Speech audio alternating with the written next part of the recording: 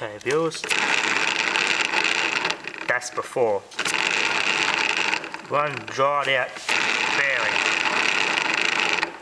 Okay, this one here, let's see how dry this one is. It's probably not as bad. Spin. That's not too bad. I might put some more on it anyway though. It probably needs to really top up. Yes it is pretty nasty. There's a little bit of play there but that's probably normal. Yeah, that's that of adjustment. That one is in the right place. That's not. Well, it was rolling on three wheels. So I'll lubricate this. I'll lubricate the pivot mechanism in there. So I'll show you how to do that. I've cracked it loose. Now I'm going to loosen this wheel. Something that should arrange use this. Just undo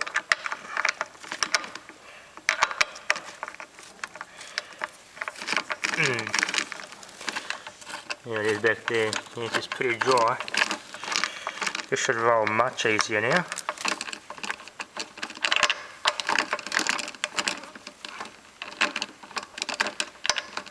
Push it in.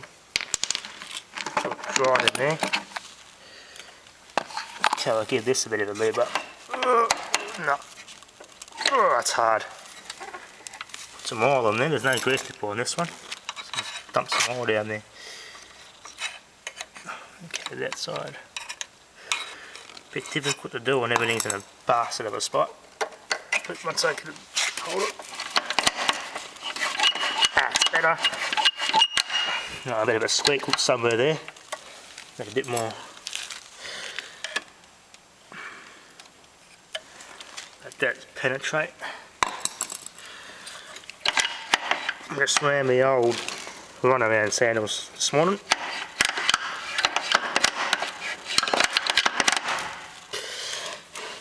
Alright. Washer goes first. Then that bearing inside rests, rests on that washer. So what I do now, same at the back, filling out with some grease. It's another dirty job. Yep, but give it a bit of a probably give it a bit of a polish with that rag over there. The kerosene rag first. Grease, sit on that toothbrush, keep it off the ground. Okay. Bit of grease in that won't matter anyway. You could use a clean rag, but for this video I'm just using a dirty, semi-dirty rag. There we go, there's a little bit of wear on that, but I only took the coating of the, um, that inhibiting coating off it, so it's not as bad as the other one that was on here. We wore through the first layer. Yeah, it's not worn right through, so that's good. So top that with some grease. That's reasonably clean in there. You can clean that if you want, but in this case it doesn't have to be cleaned, so you just get the grease pump pump a bit in there. Get it in there with one hand.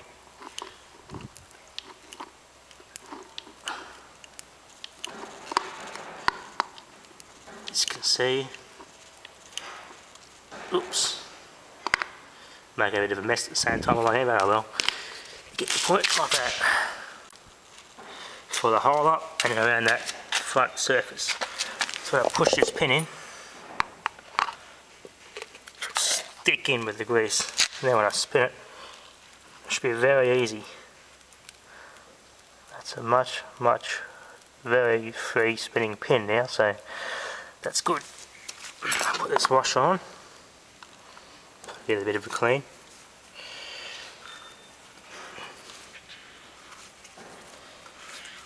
These are ball bearings by the way. And I'd say that bearing's okay, the seal's not blown or anything. It's spun pretty good in its own. You put your finger on it and you turn. You should feel if it's good or not. In this case, they were all either both back ones. I did that trick with it well and they were good. So that's a good sign. They don't have to be replaced. Get them clean. There you go. Beautiful. Then I'll put the washer on, I'll bolt back on. Try to keep it where the camera so Bear me folks.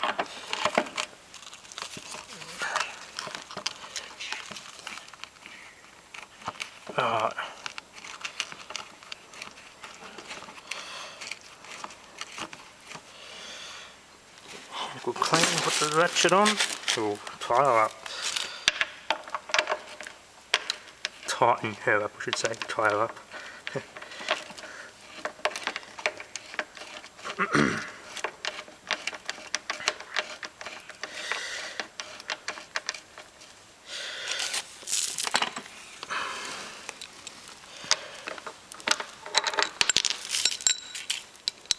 that, press the button, there we go. There's a Blue Point brand socket the way, this whole set, made by a company called Blue Point. They're pretty good. Like a Snap-on tools, similar brand. Never fail me. Store it up, okay. It's a two-hand job, so pause the camera. Okay, they're all done. That's what I'm looking for. Nice, free spinning, silent wheel.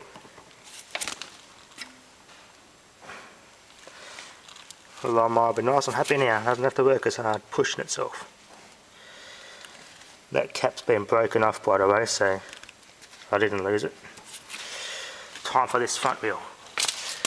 That side done, now this wheel. We'll need a medium smallish screwdriver in this case. And it clips on this side, so you get a push in there to release the clip. Try and get the camera on here. Like that. Try and break it free a bit. Push in there. That's a clip release, so you push against that clip to release it so you don't break it. So there you go. Just flop it out like that. And that's it.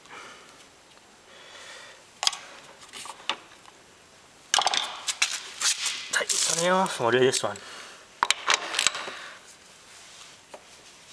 This is on pretty tight.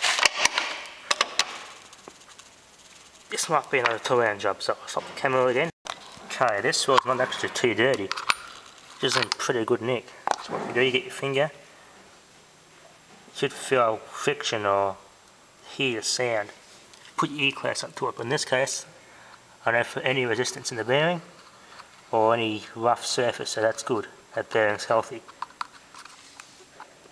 Uh, the NTN 608 LU, so they're good. I think they're Canadian, I'm pretty sure NTN, so they're pretty good brand.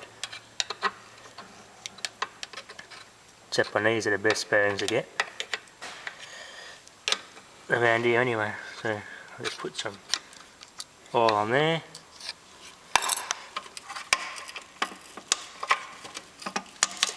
Which one's tight? This is a very tight one. Ugh. work the oil through as you can see. Like that.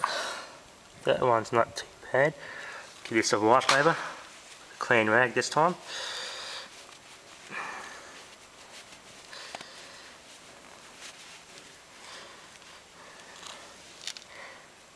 That's not too bad, so that's pretty clean. Now, that's pretty clean in there too. No dust. So I'll pump some grease into this one.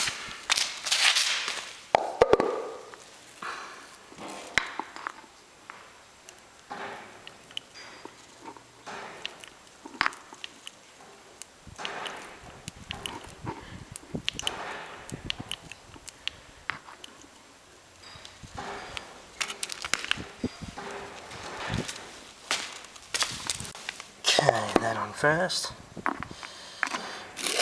There you go, the grease will hold it together for you. That way, doesn't matter which way, but sometimes it does. That's all pretty clean, didn't have to wipe this one over. See to put on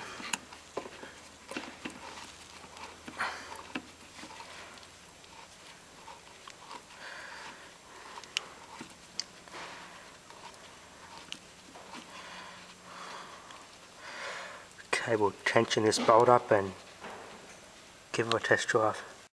Click this back on. Run in first, push your finger.